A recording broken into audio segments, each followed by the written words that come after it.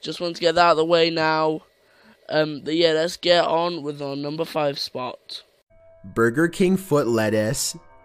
The last thing you'd want in your Burger King burger is someone's foot fungus, but as it turns out, that might be what you get.